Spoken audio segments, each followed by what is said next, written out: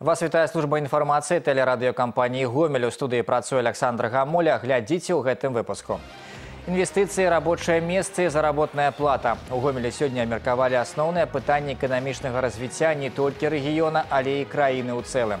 У рагачове рэкі Днепр і Друць выйшлі з берагоў і падтапілі каля 30 падворкаў. У абласным цэнтры прайшла прэзентацыя дапаможнай тэхнікі для невідушчых людзей. Жыхар магнітагорска праводзіць забег у гонар дня перамогі на шляху ад Волгаграда да Берліна ён наведаў гомель. А зараз аб гэтым і іншым больш падрабязна. Зніжэнне вытворчых выдаткаў і павышэнне заработнай платы. На гэтым у першую чаргу павінны сканцэнтравацца мясцовыя ўлады і прадпрыемствы. Пра гэта сёння ў гомелі заявіў намеснік міністра эканомікі Беларусі Александр Чарвякоў. У аблвыканкаме адбылася сустрэча актыву гомельшчыны з рабочай групай пад кіраўніцтвам намесніка міністра. Вывучэнне праблемных пытанняў і пошук сумесных шляхоў іх вырашэння асноўная мэта дзейнасці рабочых груп. Яны, дарэчы, наведваюць усе рэгіёны краіны. У саставе прадстаўнікі міністэрстваў і апарату ўрада. У гомельскай вобласці рабочая група наведала прадпрыемствы добружскага і жлобінскага раёнаў. Сустрэлася з кіраўніцтвам бізнесменамі. Ключавыя напрамкі будаўніцтва, інвестыцыі, працоўныя месцы, заработная плата. Па выніках дзейнасці рабочай групы ва ўрад будуць унесены прапановы па пытаннях развіцця эканомікі, стварэння працоўных месцаў, прадпрымальніцтва і іншых актуальных тэмах. Гомель развівае пабрацімскія і партнёрскія сувязі з 17 гарадамі і раёнамі рассіі. Абласны цэнтр актыўна супрацоўнічае з муніцыпалітэтамі гарадоў партнёраў, ажыццяўляе сумесныя праекты па розных напрамках. Знешнегандлёвы абарот за мінулы год павялічыўся большым на 6 процентаў. Гамельчане пастаўляюць у рассію малако і малочныя прадукты, машыны і механізмы, прыборы і прылады, хімічную прадукцыю. Пры гэтым на рэгіёны пабраціма рассіі прыпадае больш як 74 проценты ад агульнага аб'ёму экспарту ў гэтую краіну. Асноўная частка тавараў 36 процентаў экспартуецца ў Маскву і маскоўскую вобласць. Яшчэ больш за 20 процентаў тавараў ідуць у бранскую вобласць. Да іншых тэм у рагачове рэкі Днепр і Друць выйшлі з берагоў і падтапілі каля 30 падворкаў. Хоць для мясцовых жыхароў, па іх словах, гэта хутчэй плюсы, чым нязручнасць. Вясна ў Беларусі азначылася не толькі разлівам, але і тэмпературнымі рэкордамі. У многіх раёнах краіны былі перавышаныя абсалютныя максімумы. Падрабязнасці ў наступным матэрыяле. Жыхары рагачова распавядаюць, калі друць паводзяць сябе як гаспадыня, перш за ўсё яна з'яўляецца ў агародзе. Вялікая вада тут не рэдкасць, таму і лодкі і гумавыя боты ва ўсіх на пагатове. Хоць прызнаюцца мясцовыя жыхары плюс ад такога суседства таксама ёсць. По воде мы соскучились, потому что когда была вода, тогда очень хорошо, урожай отличный. Вот такая была картошка, такая морква поросла. Нету воды уже не так растет на огороде. Вода вот побудет, совсем другое будет расти. І воде спасибо. Зараз у рагачоўскім раёне падтоплены прыкладна тры дзесяткі падворкаў. Людзі, якія жывуць у прыбярэжнай зоне, маніторыць узровень вады ўжо даўно навучыліся. Некалькі дзён ён нязменны. Робяць замеры і выратавальнікі. Узровень, пры якім вада выходзіць на пойму прыкладна 270 сантыметраў. Зараз ён ужо вышэй за 300. Гэта яшчэ не паводка, кажуць спецыялісты, але ўсе гатовыя да любога развіцця падзей. Следим вместе с облгидрометом за всеми уровнями воды. Э, ежедневно мониторим, ездим по всем подворьям, смотрим, с людьми общаемся. Уже схема отработана по алгоритмам прошлых лет. Э, Все, работаем. В случае, если необходимо, места для отселения подготовлены. Пачатак красавіка як сярэдзіна мая. Надвор'е сёлета прынесла нямала сюрпрызаў. Другога красавіка новыя тэмпературныя рэкорды устаноўлены ва ўсіх абласных цэнтрах і сталіцы. Дзякуючы ранняму сонцу ставяць рэкорды і аграрыі. У гомельскім раёне ўжо скончыліся ўбоў ранніх яравых. Вошли, э, значит, даже раньше, чем в том году посевную, и в почве влага есть. Была зима намного более снежная, чем в прошлом году, и условия отличаются. Я думаю, и урожай мы получим. Сіноптыкі азначаюць сонцу і цяплу на гэтым тыдні засталося радавацца нядоўга. З заўтрашняга дня ў рэгіёне прагназуюцца дажджы, а ў асобных раёнах навальніцы. Вольга Канавалова, Вольга Халадовіч, тэлерадыёкампанія Гомель пры падтрымцы агенцтва тэленавін. У гомелі прайшла прэзентацыя сродкаў, якія дазваляюць сляпым больш эфектыўна арыентавацца на вуліцах гарадоў і атрымліваць доступ да інфармацыі ў інтэрнэце. Іх выкарыстанне павінна дапамагчы людзям з абмежаванымі магчымасцямі не толькі больш камфортна адчуваць сябе ў грамадстве, але і канкурыраваць на рынку працы. Прэзентацыю наведаў Олег Сенцюроў. Калі у вас дрэнны зрок, паспрабуйце прайсці без акуляраў метраў 100. Калі у вас зрок добры, просто заплюшыце вочы і прайдзіце ты ж 100 метраў. Напэўна, будзе няпроста. Між тым ёсць шмат людзей, якія ідуць у цемры ўсё жыццё. Унітарнае прадпрыемства светлатэхніка сёння адзінае на гомічні, дзе створаны ўмовы для працы людзей, якія не бачаць увогуле ці маюць вельмі дрэнны зрок. З улікам мазырскага філіялу зараз на ім працуюць каля 200 чалавек з абмежаванымі магчымасцямі. Владимир Чаравухін, слесар. Падчас прыезду здымачнай групы ён займаўся зборкай камплектаў для садовага інвентара. Дзённая норма больш як 800 дэталяў, пры тым, што Владимир іх проста не бачыць. Праўда, на умовы працы ён не скардзіцца і больш расказвае пра тое, што дзякуючы новым тэхнічным дасягненням цяпер адчувае сябе на вуліцы куды больш упэўнена, чым раней. Калі іду ўздоўж вуліцы, напрыклад, э, то мне э, зручней чатар. Ён гаворыць ўздоўж якую вуліцы я іду, што там будзе наперадзе там якая вуліца там выйдзеце уздоўж вуліца кірова у кірунку вуліца камсамольская якая ідзе направ то ну, паверне направа так да паварота там 125 крокаў так зручна вельмі зручна Хоць недасканаласць сучасных тэхнічных сродкаў твой уплыў усё ж такі аказвае. Той жа навігатар, напрыклад, іншы раз элементарна не працуе. Шмат заўваг у сляпых людзей і да сродкаў масавай інфармацыі. Вельмі ўжо, кажуць, сучасныя навіны перагружаны разнастайнымі табліцамі і графікамі. Па гэтай прычыне шмат якія сайты вельмі складаныя для ўспрымання. Нынешний интернет насыщен э, всякими графическими элементами, которые говорящей программой воспринимаются достаточно плохо. И там надо очень хорошо визуализировать информацию, то есть чтобы незрячий человек или плоховидящий не запутался при использовании всяких этих многочисленных элементов, поскольку на сайте их может быть по 50, по 70, под 100 штук Спецыяльныя гадзіннікі, якія падкажуць час голасам ці дапамогуць вызначыць яго на вобмацак, партатыўны плеер, які не проста дазваляе слухаць перадачы ў розных фарматах, але і ўтрымлівае GPS-навігатар. Сёння тэхнічныя навінкі ўсё больш актыўна выкарыстоўваюцца ў штодзённым жыцці. Для сляпых людзей гэта не толькі магчымасць больш камфортна адчуваць сябе ў грамадстве, але і канкурировать на рынку працы.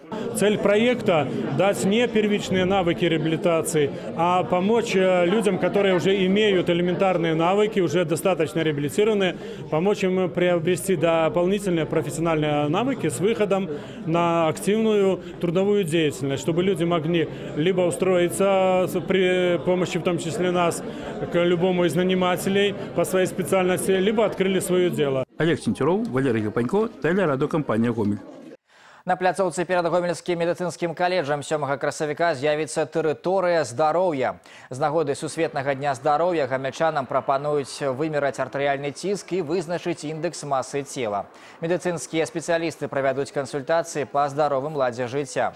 Тэрыторыя здароўя пачне работу ў 10.30 у пятніцу сёмага красавіка.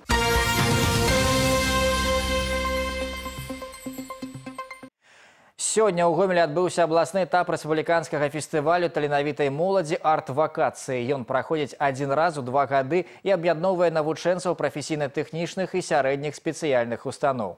Сёлета дэвіз фестывалю моладзь і творчасць гісторыя будучыні.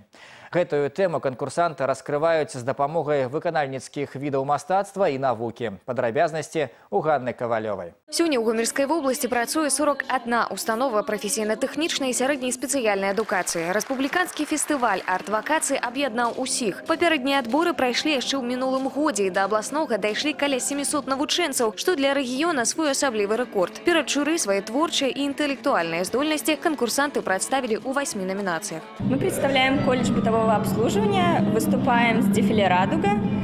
Вот в костюм.